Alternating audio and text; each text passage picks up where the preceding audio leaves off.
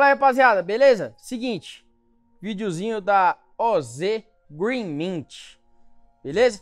Antes de tudo, segue aí, ó, YouTube, Facebook, que mais que tem? Instagram. Instagram, é, Spotify, Deezer, essas porra toda aí de música aí que você talvez tenha e segue nós. É, fica com o Hotpack aí com as minhas belas mãos.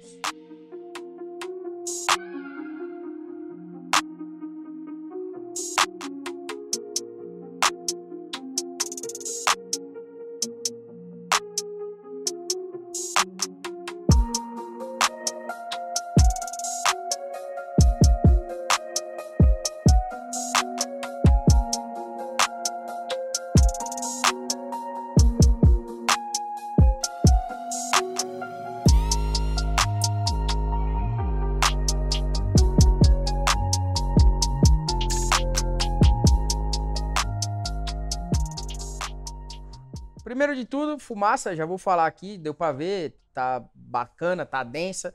Faz acho que uns 20, 30 minutos que a gente tá fumando já, né, Gui? Mais ou menos. Corte pequeno a médio, né? É Bem mastigadinho e tal. Cara, o cheiro, ele lembra muito. é, eu não sei exatamente definir se é o House Verde ou se o, o Trident. Vê o que você acha aí, Guilherme. O que, que você achou? Eu achei que é mais Trident. Mais Trident, né? verde.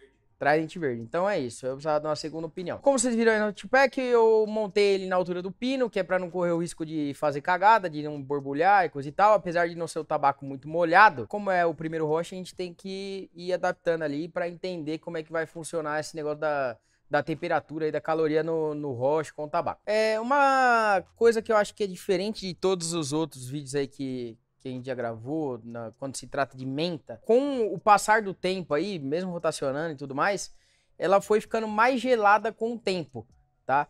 Então já é, agora que já tem aí meia hora que a gente tá, tá fumando, já pega um pouco mais na garganta a parte do gelado. Com relação ao cheiro ali, né, dando aquela comparada cheiro-sabor, eu acho que o, o, o cheiro ele é muito mais decifrável, né, do que o, o sabor em si. Claro, tem um gosto de menta, isso é óbvio, e tem o gelado. Só que com o tempo ela tá ficando mais gelada e tá perdendo um pouco o sabor. Basicamente é isso, não tem muito mais o que se alongar. Por ser um tabaco teoricamente barato aí, de entrada e tal, vale ah, dar essa chance aí pra, pra OZ, certo? No mais é isso, acho que não tem muito mais o que falar, né? Só não pode esquecer do tiobob.com.br, o cupom nosso lá é HB10 em compras acima de 150 reais. Então, entra lá, monta o carrinho todo lá, na hora de fechar a compra, põe o cupom. Lembrando que, se tiver é, algum item que já esteja em alguma promoção, pode ser que nesse item aí, no carrinho, enfim, depende da situação, pode ser que o cupom não cante. Certo? No mais é isso, experimentem, vale a pena.